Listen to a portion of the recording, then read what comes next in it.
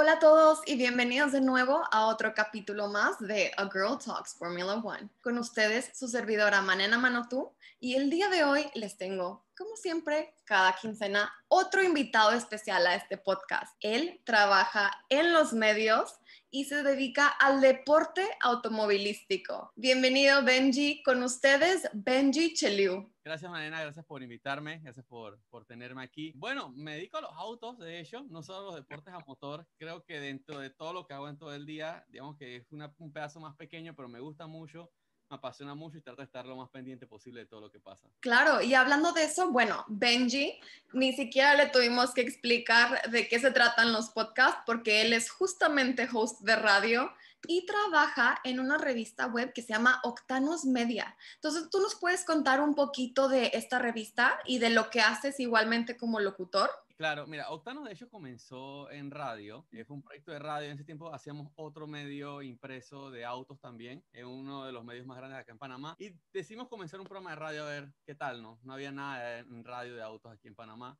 Arrancamos, las cosas se dieron, un poco después de eso sacamos nuestro propio medio impreso, después pasamos a digital, ha sido toda una aventura. Eh, como te contaba, nos dedicamos principalmente a los autos, lo principal que hemos hecho son pruebas de autos, pero dentro de eso también entró el automovilismo y todo, esta, todo este tema que nos apasiona tanto, ¿no? Y en radio nada, es un mundo totalmente diferente, te da una forma tan especial de comunicar a las personas las cosas, porque es tan diferente que cuando lo haces con una foto o un video, ¿no? Tienes que, tienes que desmenuzar un poco más la idea para que las personas hagan esa idea de lo que está pasando y me gusta mucho la verdad y, y es genial también ver que una chica haga podcast.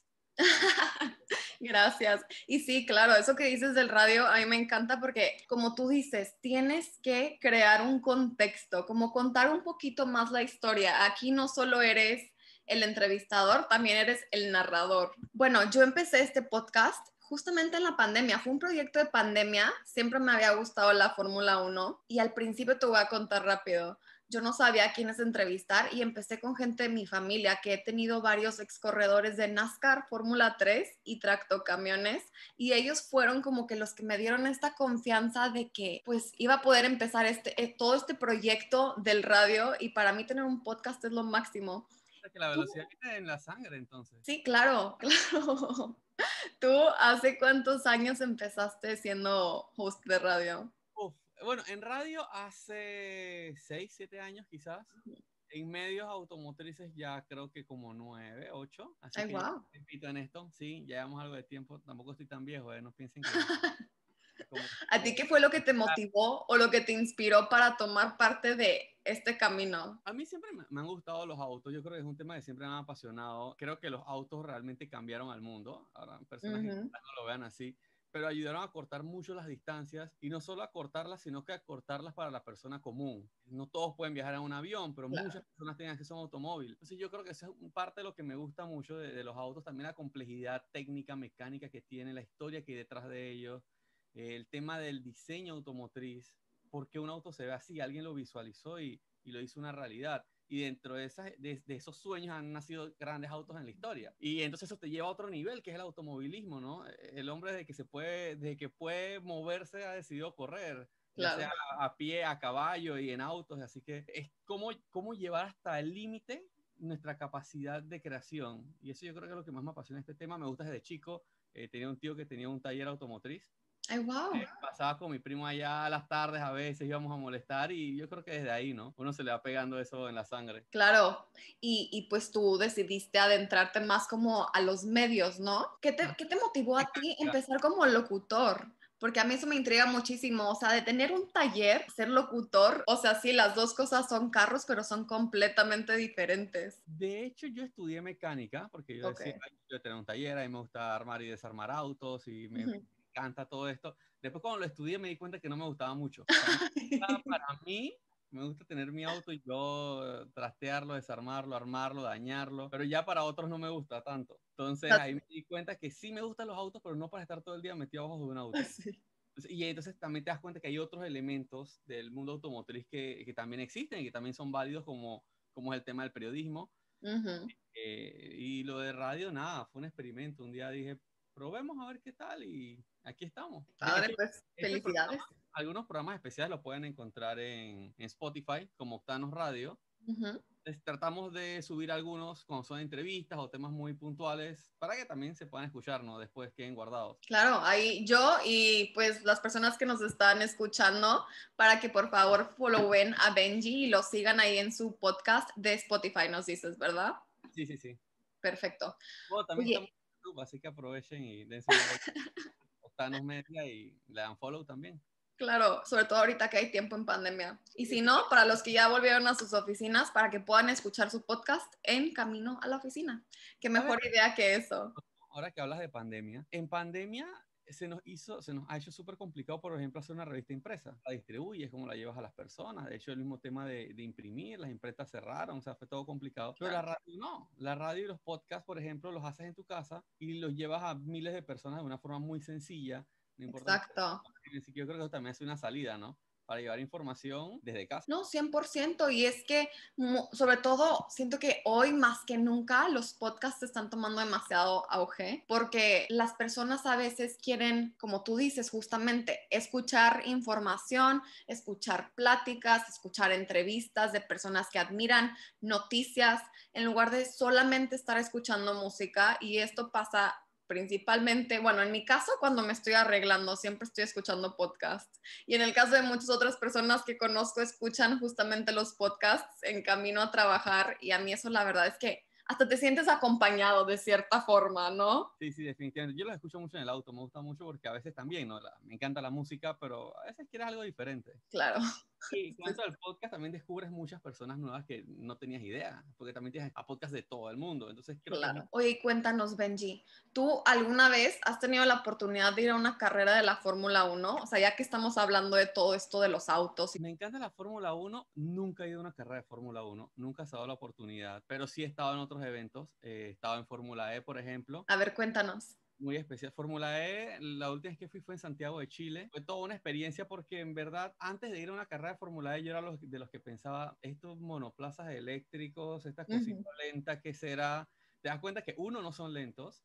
Dos, no es una licuadora, no es una lavadora, sino que son autos altamente complejos. Claro. Eh, el año que fui, creo que fue el primer año que cada fabricante ya tenía su propio tren motriz que ya no hacían el cambio de autos, sino que los autos duraban toda la carrera y te das cuenta lo complejo que es, lo complejo que son los equipos, las altas velocidades que alcanzan y que tienen ciertos desafíos muy especiales como que en Fórmula 1 tienes neumáticos con gran grip y tienes varios neumáticos para el fin de semana. Acá tienes neumáticos que son bastante similares a los neumáticos de calle, que tienen mucho menos grip, así que las exigencias para el piloto también son, son muy diferentes. Esto es todo un tema súper complejo esa vez logré tomar una foto con Felipe Massa, creo que él no estaba, creo que él no estaba muy feliz porque estábamos en la preparación y ya está como que el estrés que viene la carrera.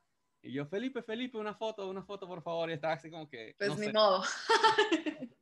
Eh, también tuve la oportunidad de conversar con Sebastián Buemi. En esa ocasión tuve la oportunidad de ir con el equipo Nissan Idams. También estaba Oliver Rowland, así que toda una aventura Fórmula E, la verdad es que cuando la escuchas, si, si no has adentrado en ese mundo, tienes tus dudas, ¿no? De que realmente sea tan competitivo como lo quieren vender pero una vez que te adentras en el mundo de la Fórmula es otra cosa y yo creo que la verdad están haciendo un gran trabajo por mostrarle al mundo el tema de la electrificación en los autos. Por eso también estaba en Dakar, eh, cuando se corría acá en Latinoamérica, en Perú. Eh, también tremenda experiencia. Esa vez tuve la oportunidad de tomar una foto a Esteban Peter Hansel, que yo creo que es una de las fotos favoritas que he tomado en, toda mi vida. Eh, también una gran experiencia, ves estos monstruos enormes en los que compiten especialmente en la categoría de camiones. No te imaginas cómo cruzan el camiones.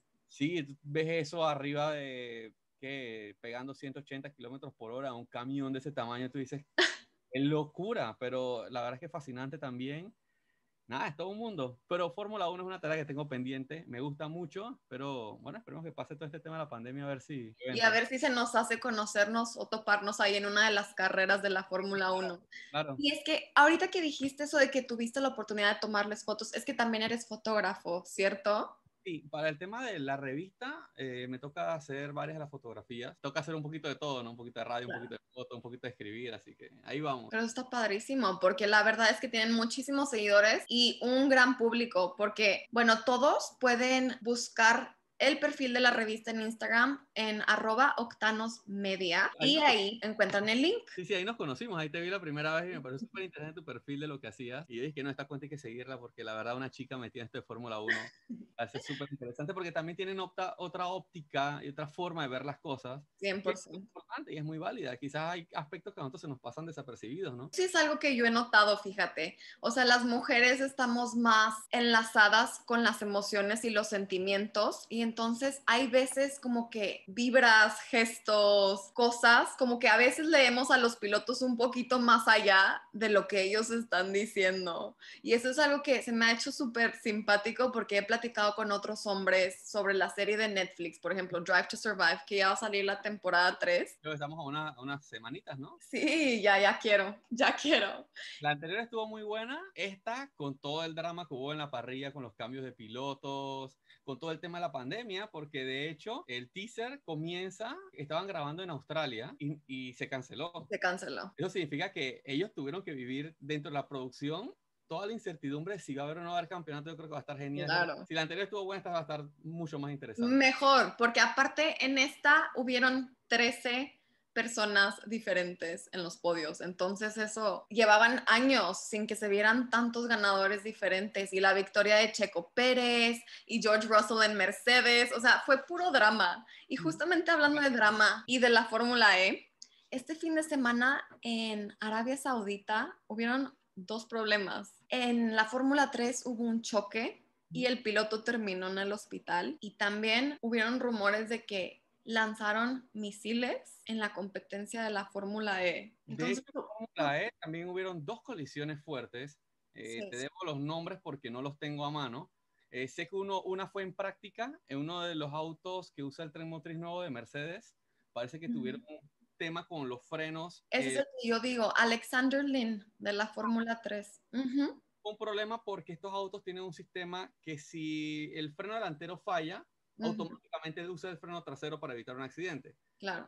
Parece que el sistema no hizo, no, no cuadró con el freno trasero, falló y el auto tuvo la colisión. Eh, de hecho, casi no dejan correr a los vehículos Mercedes en la segunda, en la segunda carrera por una investigación del tema. Parece que lograron resolverlo porque era algo de software, pero sí, dramático el fin de semana. Muy, muy dramático. ¿Tú qué piensas eso de, de los misiles y de que la Fórmula 1 vaya a llegar hasta Arabia Saudita? ¿Crees que pueda haber un poquito más drama porque es una categoría todavía más popular? Yo no dudo que con, un, con eventos tan masivos como la Fórmula E, la Fórmula 1, algunos grupos se tomen la oportunidad de llamar la atención, un acto de este tipo, pero yo creo que no debe ser algo que detenga el deporte. Yo creo que simplemente hay que trabajar en tomar todas las medidas para, para controlarlo con los gobiernos lo más posible. Claro porque no se puede vivir en el miedo y no se puede evitar que las personas de Medio Oriente disfruten de estos eventos por incidentes de ese tipo. Así que yo creo que nada, echar para adelante y tratar de sobrellevar estos temas, ¿no? 100% de acuerdo contigo y es que es justamente eso, el hecho de que Arabia Saudita esté siendo anfitrión de una Fórmula 1 es una cosa, bueno, ahí te están demostrando en que de verdad se están empezando a abrir un poquito más al mundo y como tú dices, el Medio Oriente no tiene por qué no disfrutar de una carrera como esta, porque me imagino que haya también ha de haber muchísimos fans, así como hemos visto en Bahrein, en Abu Dhabi. La gente ya se vuelve loca con la Fórmula 1. Bueno, y también le han puesto, le han metido la mano duro al tema del automovilismo, porque recuerda que el Dakar también se celebra en Arabia Saudí. Así que, bueno, te digo, no creo que, que, el gobierno local no esté trabajando en controlar cualquier incidente que se pueda dar. Creo que ya están llevando eventos de gran magnitud, por lo menos el tema de automovilismo. Yo creo que deben estar preparados para esto. Esperemos que solo sea una, una alarma aislada, ¿no? No pasa nada. Pero creo que para nada, no, no hay que pararlo por ningún motivo y hay que seguir llevando el automovilismo a todo el mundo. Oye, y, y tú dime algo, ¿quién es el piloto o el equipo que más tienes ganas de ver en este 2021? Porque te voy a decir algo, yo personalmente cuando hicieron esos equipos no me imaginaba a nadie con nadie. Siento que en esta ocasión escogieron personalidades demasiado parecidas en cada equipo. Tenemos a Carlos Sainz con Jacques Leclerc, que los dos son bastante parecidos. Daniel Richardo y Lando Norris, igual todos sabemos que ellos son como los hombres chistosos de la Fórmula 1 y luego tenemos, para mí, el más controversial de todos los equipos, Checo Pérez con Max Verstappen, ambos grandes pilotos con un estilo bastante agresivo de manejar. ¿Tú a quién quieres ver este 2021? Yo trato de ver la, la Fórmula 1 como veo el fútbol. Yo no tengo equipo de fútbol y trato de no tener a uno y disfruto, disfruto que gane quien gane después que sea una buena carrera, siempre que no sea Luis Hamilton, porque la verdad es quiero que gane otro. No tengo nada en contra de él y estoy convencido que es el mejor piloto de todos los tiempos de la Fórmula 1, los números lo dicen, pero ya. bueno, después de Fangio, después de Fangio, honestamente. Yo creo que el más talentoso ha sido Fangio porque eran otros carros, o sea, ahí sí que todos los carros eran iguales. Pero cosas, ¿sabes? Las cosas con el tiempo, yo siento que hay un balance, eran autos mucho más difíciles, de hecho los pilotos con casco, eh, estamos hablando de palanca al piso, no, no, como ahora, pero también en esos tiempos no tenías que balancear la frenada con una perilla en medio del timón, eh, no tenías que estar pendiente de la gestión de la energía del KERS, tenías que estar pendiente si, si abrías o no abrías el alerón, las cosas también, o sea, los pilotos de antes no tenían que lidiar con estas exigencias tecnológicas. Entonces creo que Hamilton tiene todo el mérito. Creo que no sé si, si lo es, para muchos no lo será. Yo creo que los números hablan por sí solos. Estoy convencido que va a ganar el campeonato 2021. Eh, claro. los autos no han cambiado y el Mercedes sigue siendo el rey. Superior, el auto es superior. Lo demostró este chico. George Russell. George Russell lo demostró, que el auto es superior, muy superior. Y yo lo veo ganando este año y lo veo rompiendo el récord de Michael Schumacher. A veces también todo lleva un poquito de suerte, ¿no? Le tocó al estar en ese asiento y la verdad es que Bottas no ha logrado hacer lo mismo en el mismo auto. Es verdad. Entonces, eh, hay un mérito hay que darle a, Hamilton. Todo se combinó. Un gran piloto en un gran auto en el momento correcto. Ahí no hay nada que negarle. Ahora, de ahí para abajo, ¿quién a ver ganar? Es difícil porque me gustaría ver ganar o por lo menos meterse entre los tres primeros a Checo. Eh, el tema de que sea el único representante latino en la parrilla, para mí es súper importante yo creo que si queremos más pilotos latinos en la parrilla, es súper importante que Checo haga un buen papel para que los equipos miren hacia acá y busquen talentos eh, de este lado del mundo, ¿no? Yo creo que él tiene una responsabilidad súper importante eh, como el único eh, piloto del, del continente en, en, la parrilla. Creo que también es súper talentoso, lo demostró la temporada pasada. Hay, a veces la gente se olvida que Checo perdió dos carreras y pasó es verdad, es verdad. superiores. Digo, si tú te pierdes dos carreras y sigues siendo eh, estando cerró cuarto la temporada, tienes un mérito muy, muy importante. aquí más me gustaría, me gusta mucho la, el manejo de Max Verstappen. Creo que también va a tener una gran temporada. Eh, creo que Red Bull ha mejorado mucho el auto y le va a dar un gran auto esta temporada. Creo que todo el tema que se resolvió con el motor Honda, que lo van a tener para el próximo año. porque lo van a congelar. Lo van a congelar. Sí, pero lo van a congelar, pero el desarrollo ahora va a pasar a Red Bull, a la división de ellos de, de motores. Les va a dar la libertad de jugar un poco más con el motor. Creo que eso puede llegar a ser positivo esa relación Norris-Ricciardo creo que va a ser complicada porque hasta ahora todos conocemos el lado amigable de los dos. exacto. Ir juntos está, está la duda de, ¿no? Si sacan las garras o va a ser una relación muy amistosa. Tienen tremendo auto, también el, McLaren ha mejorado mucho, ahora lleva el motor Mercedes. Si los eh, Racing Point lograron lo que lograron con el motor Mercedes, no quiero saber lo que puede hacer McLaren. El mismo motor. Súper de acuerdo. El otro que quiero ver que me intriga mucho su desempeño esta temporada va a ser Fernando Alonso. A Michael no le fue bien cuando volvió del retiro. Todos recordamos eso, el mejor piloto de todos los tiempos, se va al retiro, regresa y no hizo nada relevante en su regreso. Pero Alonso se fue, pero realmente no se fue del todo. Corrió Indy, corrió Dakar, eh, corrió el Campeonato Mundial de Resistencia eh, con Gazoo Racing. Él estuvo muy activo, solo que fuera de la Fórmula 1 y en el máximo nivel del automovilismo. ¿Qué traerá Alonso ahora? Alonso también ha demostrado que es un piloto tan competitivo que él no va a venir a perder, no va a venir a estar en la mitad de la parrilla. Él siempre tiene grandes aspiraciones y me intriga mucho qué va a hacer. También me intriga mucho el tema del cambio del equipo Renault a Alpine. Ellos no harían una apuesta así para seguir estando en la mitad de la tabla. Claro. Y que digo, no es garantía de nada, puede que no hagan nada relevante, pero creo que va a ser interesante, ¿no? Seguirle el paso a Alonso esta temporada. No, y que nadie sabe la verdadera razón por la que Cyril ya no es el jefe de equipo. Nunca se dijo si lo corrieron, si renunció, nunca se dijo qué pasó. Y en cuanto a Alonso, fíjate que yo no siento que venga a ganar. Yo siento que más bien como quieren reposicionar este nuevo equipo, el problema de Cyril siempre fue que no sabía qué le pasaba al carro. Y Alonso es conocido por ser uno de los mejores ingenieros en la Fórmula 1, a pesar de que es piloto.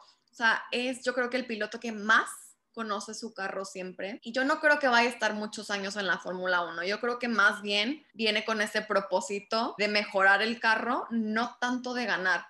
Pero obviamente, como tú dices, entra su competitividad, pues no, no porque venga de ingeniero significa que quiere quedar en quinceavo lugar, o sea...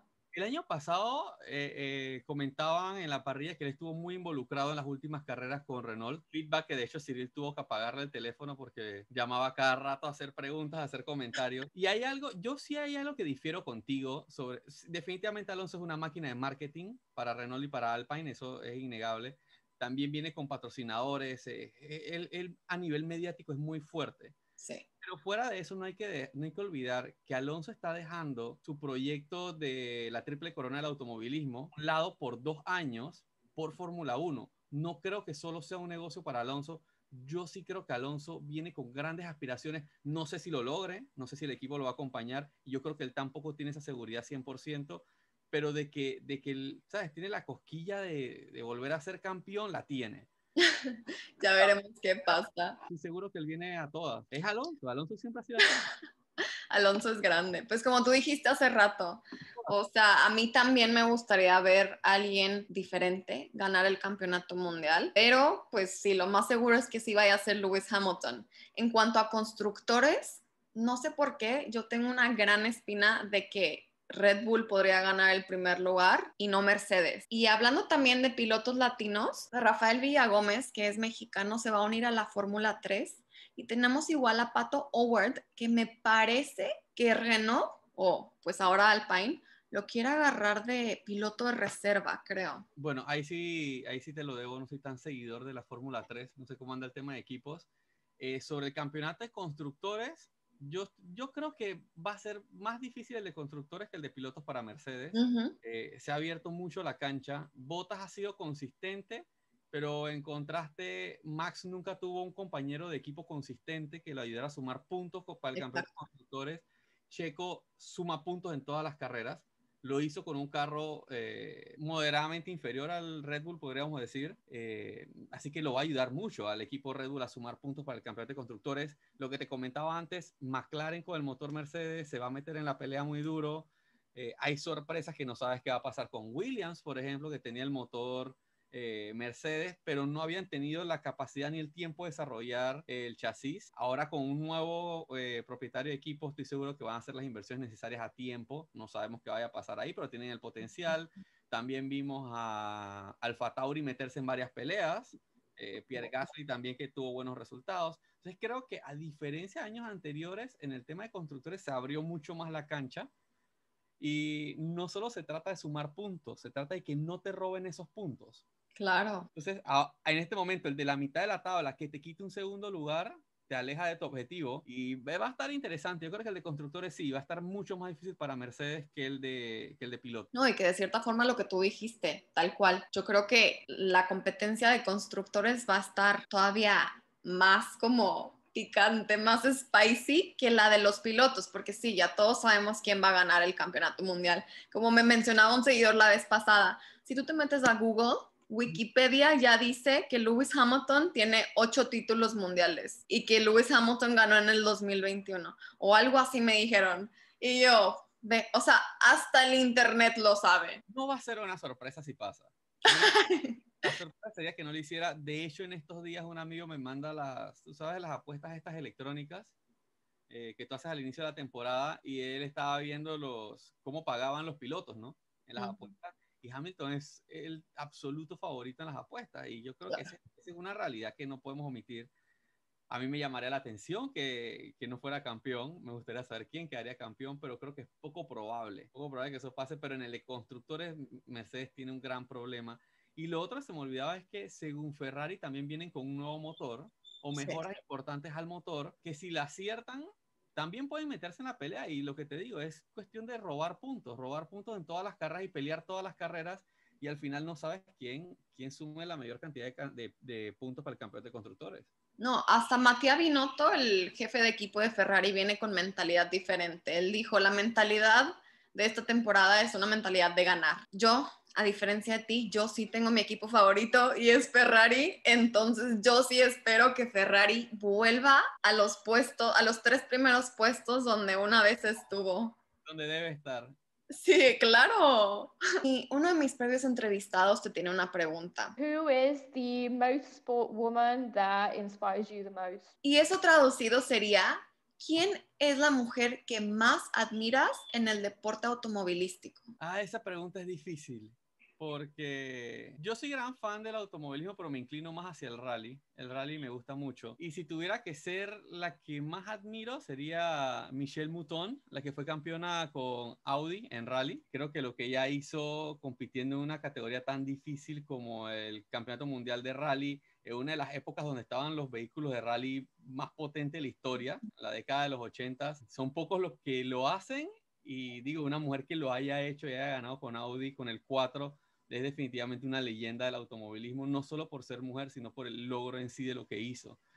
Y actualmente me gusta mucho el trabajo de Cristina Gutiérrez, la española. Está compitiendo en el Dakar, fue campeona española, si no me equivoco, de off-road.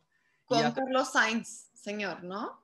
Eh, ella estuvo, no, ella no corrió con Sainz, ella ha estado corriendo desde el 2017 en el Dakar. Sé que corrió con Mitsubishi. Oh. Todos los Dakar y terminar el Dakar es una victoria en sí mismo, ¿no? Digo, para ganar el Dakar tienes que estar con uno de los grandes equipos, pero terminarlo de hecho es una victoria. Y lo interesante es que también va a estar corriendo esta temporada en el equipo de Lewis Hamilton de Extreme E. Okay. El equipo creo que se llama X44, el de Hamilton, una categoría totalmente nueva de rally 100% eléctrico, que de hecho fue fundada por el mismo equipo que creó la Fórmula E, así que ya tiene mucha experiencia y me parece súper interesante. el, el, automovilismo en general es, es, a mí me gusta, pero yo siento que el rally tiene algo muy especial. Cuando tú ves los onboards de rally, el tiempo más de crudo. Tienen, sí, es algo mucho más crudo. Eh, el tiempo de reacción de los pilotos y el hecho de enfrentarte a condiciones no controladas. Digo, no lo quiero poner así de feo, pero en Fórmula 1 se queda un pedazo del alerón y paran la carrera para recogerlo. En el rally no, en el rally hay piedras, hay nieve, llueve, hay lodo y tienes que estar preparado para lo que sea. Y me gusta mucho y me gusta mucho ver una mujer en el rally. Creo que es, que es algo genial, es súper especial. No, sí, es que cada vez hay más mujeres en el deporte automovilístico, en el ámbito que sea pilotos, jefe de equipo, ingenieros, un poquito de todo. Y a mí eso es algo que me encanta porque un mundo que era meramente masculino se está empezando a diversificar y a llegar a otras audiencias, porque las mujeres también ven los deportes automovilísticos, no solamente los hombres, y saber que es un deporte que está siendo más inclusivo, obviamente a nosotros como mujeres nos hace todavía querer verlo más, porque como mencionaba ahorita, es un deporte que era meramente masculino y ver mujeres fuertes, formar parte de todo este ambiente, bueno, a mí es algo que la verdad me inspira y me motiva muchísimo. ¿Sabes? Que a mí me gustan mucho las iniciativas que se están haciendo para incluir mujeres en el automovilismo, pero sabes que yo creo que falta buscarlas desde la raíz, desde abajo, desde las categorías de karting infantil. Sí, claro. Porque sí, está muy bonito que incluyamos las que están ahora, pero lo que tenemos que trabajar es el semillero del futuro para no tener que buscarlas una a una donde están, sino que tengamos toda una generación de mujeres pilotos y yo creo que eso es lo que, lo que está faltando en las iniciativas actuales, comenzar desde abajo. Comenzar Como los hombres. No, comenzar desde el karting. Tengamos mujeres en karting que se formen desde abajo como pilotos y vayan creciendo y tengan esa secuencia, ¿no? Dentro del automovilismo y, y que tengamos de dónde elegir. Yo creo que eso sería lo, para mí es, es lo que yo creo que falta y es lo que el siguiente paso en lo que hay que trabajar en el futuro. Las próximas pilotos del mundo automotriz. Súper, súper de acuerdo contigo. Y pues muchísimas gracias Benji por haber formado parte de este podcast. ¿Algunas redes sociales que quieras compartir? Bueno, nada, pueden seguirnos ahí en arroba Media. Ahí están en todos los canales en Instagram, en Facebook y en YouTube. Y igual ahí nos pueden dejar sus comentarios y con gusto. Y gracias a ti por invitarnos. Súper interesante, súper divertida la entrevista. que se repita. Claro que sí, Benji. Muchísimas gracias a todos por haber llegado al final de esta entrevista y nos vemos otra vez la próxima quincena con otro capítulo más de A Girl Talks Formula One. Hasta la próxima. Chao.